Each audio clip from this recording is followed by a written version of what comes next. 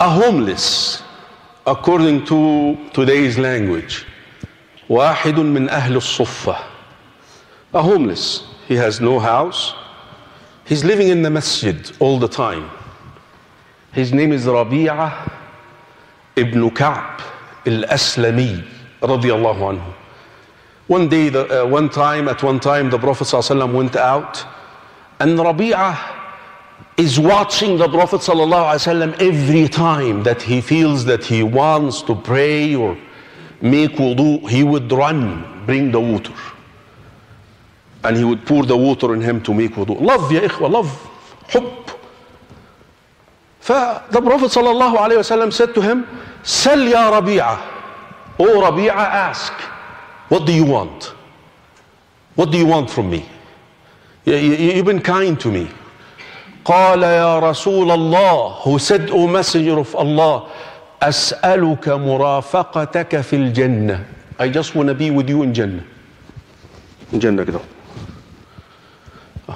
هذا هو الحب يا إخوة Imagine anybody would know oh can I have a house in in Centennial in uh, uh, in the beach homeless can I have a car uh, and this is justified, by the way. But again, brothers and sisters in Islam, this love was expressed correctly.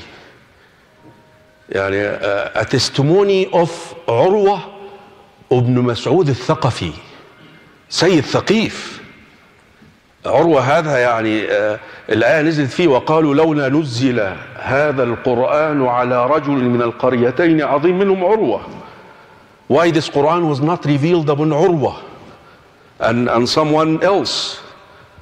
uh, he became a Muslim, by the way, later on, anhu. But while he was a kafir, he was one of the envoys of Quraysh to negotiate with the Prophet sallallahu when the truce of Al-Hudaybiyah happened, when the, when the Muslims came to perform Umrah, and the Quraysh said no, and there was a negotiation.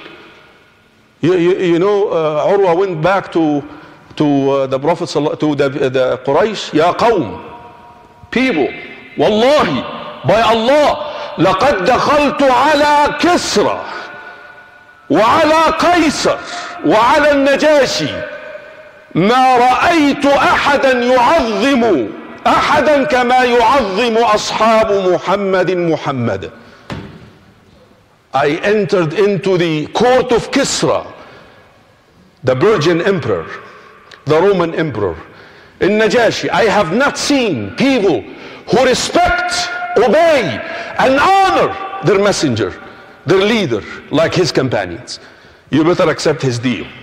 They are willing to die for him. They, they loved him.